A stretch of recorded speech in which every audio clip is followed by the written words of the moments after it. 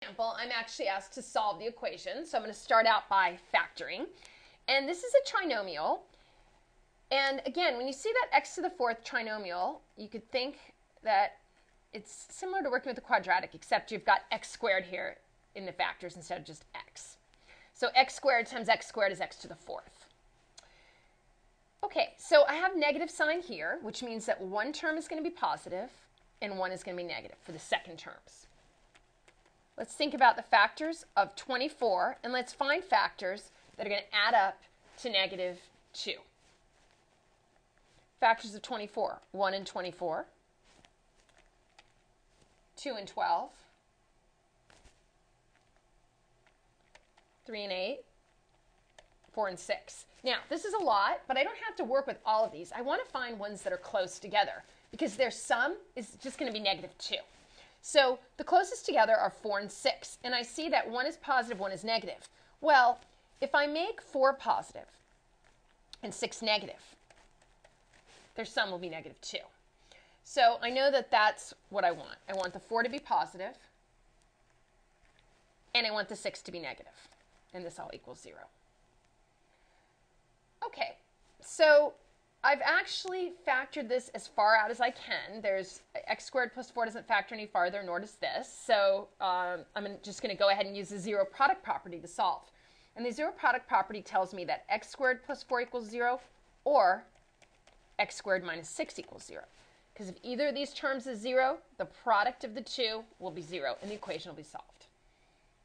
So here I'm going to get x squared equals negative 4.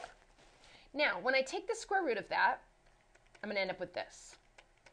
Recall from working with imaginary and complex numbers that the square root of negative 1 equals i. So this is the same as saying the square root of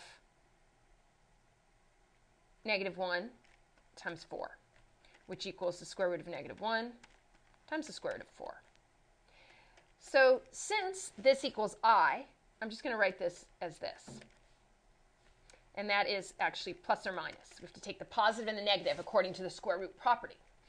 Okay, well, this is a perfect square, so this gives me plus or minus 2i.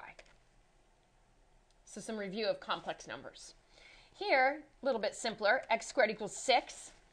According to the square root property, if I take the square root of both sides, then I will get x equals plus or minus the square root of 6.